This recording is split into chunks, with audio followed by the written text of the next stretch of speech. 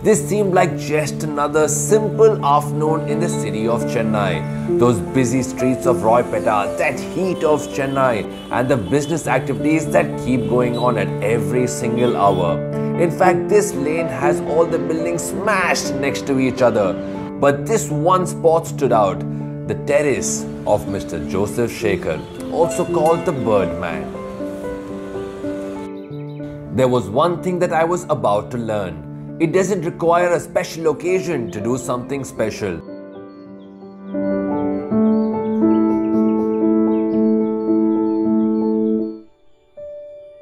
எப்பயுமே love is life தான் அன்பு வாழ்க்கை. அதனால் சுற்றி இந்த வாழை சுற்றி நாங்கள் அரிசி தண்ணி எப்பயுமே முப்பது வருஷத்துக்கு முன்னே வைப்போம். அப்படி வைக்கும் போது சிட்டுக்குருவி புறா அணில் காக்கா எல்லாமே சாப்பிட்டு இருந்தது. ரெகுலராக அப்படி சாப்பிட்டு இருக்கும்போது சுனாமி வந்தப்போ இந்த கிளிங்க வந்து ஒரு ஒரு பத்து கிழி இருக்கும். அவங்களோட மிங்கிள் ஆகி பேரட் சாப்பிட்டாங்க. அந்த கிளிங்க தான் ஒரே வருஷத்தில் ஒன் இயரில் ஆயிரக்கணக்கான கிளிகள் ஆயிடுச்சு.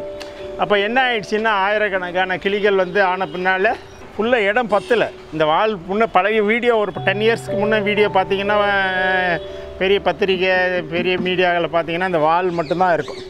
இந்த வாலில் மட்டுமே நெருக்கமாக உட்காந்து ஒன்றோட ஒன்று ரொம்ப சண்டை இட்டுன்னு இடம் பத்தாமல் இருந்தது.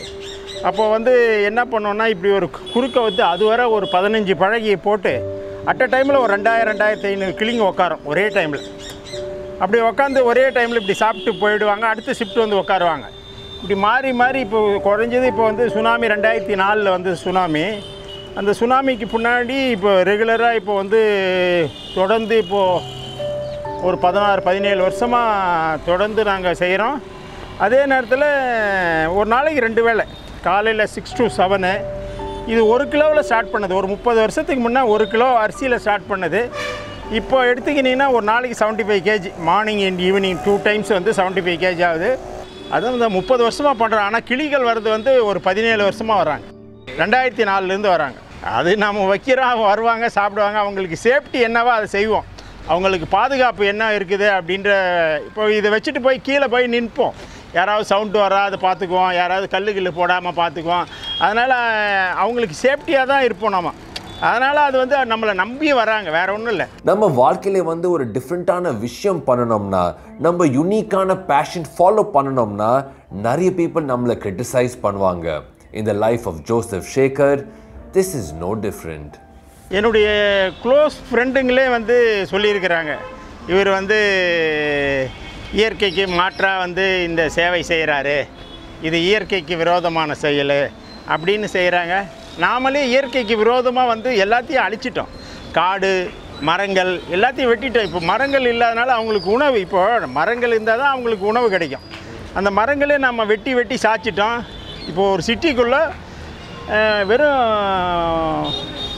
காங்கிரீட் காடு மாதிரி தான் இருக்குது இப்போ சிட்டி ஃபுல்லாக அந்த மாதிரி சொல்கிறவங்கள பற்றி நம்ம கவலையே படக்கூடாது. நம்ம சேவையை செஞ்சுட்டு போயிட்டே இருக்கணும். Do the people do service because they are rich or do the people become rich because they do service? பணமே வாழ்க்கைன்னு வாழவே கூடாதுங்க. என்னை பொறுத்தவரை நான் வந்து இப்போ சம்பாதிக்கிறதுல பாதி இதுக்கு செலவு பண்ணுறேன் அதாவது பாதி வருமானத்தை இது இவங்களுக்கு செலவு பண்ணுறேன் இப்போது முன்னெல்லாம் வந்து ரொம்ப கஷ்டப்பட்டிருந்தேன் ஆரம்பத்தில் வந்து நிறைய கஷ்டப்பட்டேன். இப்போ எடுத்துக்கினீங்கன்னா என்னுடைய ஒய்ஃப் நகை ஃபுல்லாக எல்லாம் வந்து ஜுவல்லரி எல்லாம் பேங்க்கில் தாங்க சில நேரத்தில் முடியாத நேரத்தில் கொண்டு போய் வச்சுட்டு வச்சுட்டு இப்படி தான் இப்போ ரன் ஆகிட்டு இருக்குது ஒன்றும் நான் ஒரு பெரிய கோடீஸ்வரன் கிடையாது. சாதாரண உங்களை மாதிரி நானும் ஒரு மனுஷன் தான். ஒரு நாளைக்கு இப்போ ஆவர ஆவரேஜாக பார்த்தீங்கன்னா த்ரீ தௌசண்ட் ருபீஸ் ஆகும் சார். ஆமாம் டே டே ஆகும். அது எப்படி பப்ளிக் வந்து பாதி அமௌண்ட்டுக்கு பப்ளிக் கிட்டேருந்து கிடச்சிடும் இப்போ வந்து சென்னை மக்கள் வந்து ரைஸு அரிசி இப்படி கொடுக்கறதுனால என்னுடைய பேர்டன் வந்து தௌசண்ட் ருபீஸ்க்கு தான் ஆயிடுச்சு இப்போ. But the world of Mr. Joseph Shaker is not just this. It is the several parakeets, lots of nature, and also his supportive family.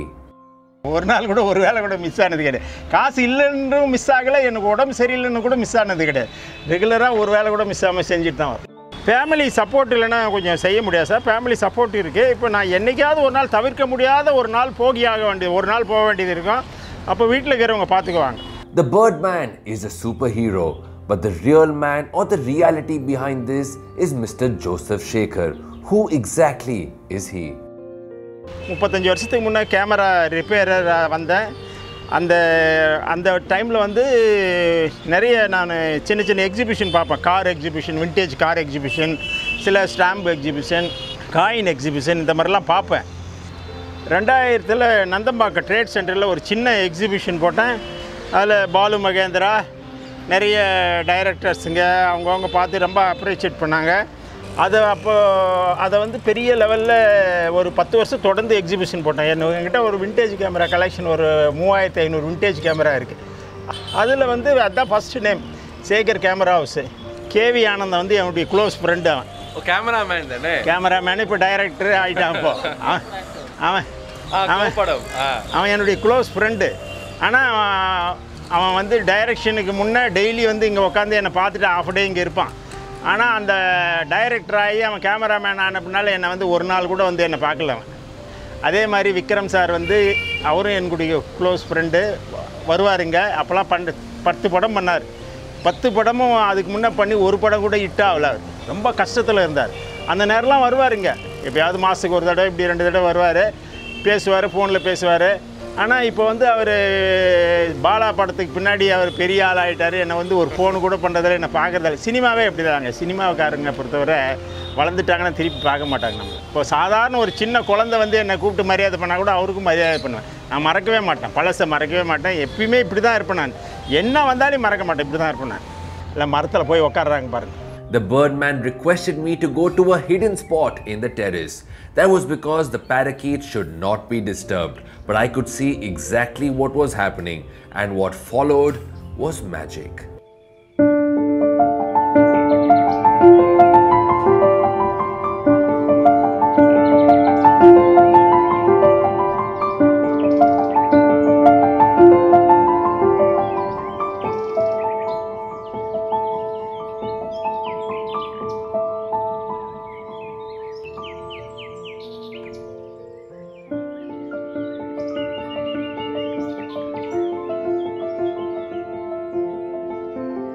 நீங்கள் ஃபீல் பண்ணுவீங்க.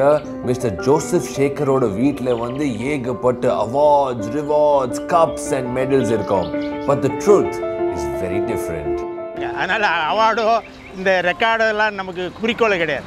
இயற்கைக்கு என்ன செய்யணும்? அவார்டு கொடுத்து என்ன பண்ண போகிறோம் ஒன்றும் பண்ண போகிறதில்ல கின்னஸ் ரெக்கார்டில் ஏற்றினா மட்டும் என்ன ஆகிட போகுது? ஒன்றும் அதனால் எதனா பெனிஃபிட் கிடைக்க போது? அந்த இயற்கைக்கு கிடையாது. அதனால் இயற்கையை நேசிக்கத்தான் என்னுடைய கொள்கை அதுதான் என்னுடைய லட்சியமே. அதனால் கின்னஸ் புக்கில் வரணும் அது வரலாம் கொள்கை கிடையாது. ஆனா what is the story behind in the name birdman இந்த பேட்மேன்ன்றது வந்து இப்படி தான் வந்து ஒரு ஒரு ஃபிஃப்டீன் இயர்ஸுக்கு முன்னே இப்படி தான் வச்சுட்டு இருக்கும்போது ஒரு ஸ்டூடெண்ட்ஸுங்க வந்து ஒரு விஸ்காம் படிச்சுட்ட ஸ்டூடெண்ட்ஸுங்க வந்து ஒரு நாலஞ்சு பேர் அங்கே நின்றுட்டு பார்த்துருந்தாங்க. டெய்லி வருவாங்க ஒரு மூணு நாள் நின்று பார்ப்பாங்க.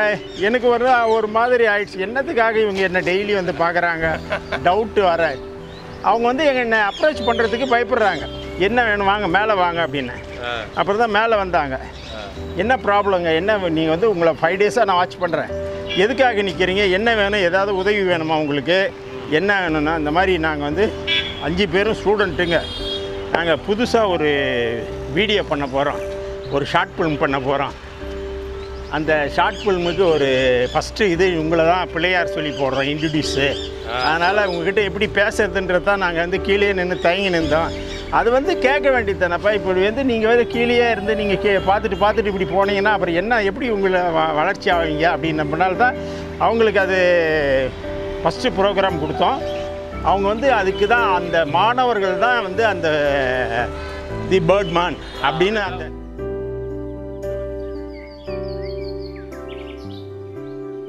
அதாவது உலக மக்களுக்கு எல்லாம் சொல்கிறது என்னென்னா லவ் இஸ் லைஃப் அன்பு தான் வாழ்க்கை. அது எல்லாரும் உலக மக்கள் ஃபுல்லாக அதான் வாழணுன்றது என்னுடைய குறிக்கோள். லவ் இஸ் லைஃப் அன்பு தான் வாழ்க்கை. Thank you This evening and this meeting I will never ever forget. Our show ends here, but not the story. It happens every evening on this terrace in the heart of Chennai because some stories should never end.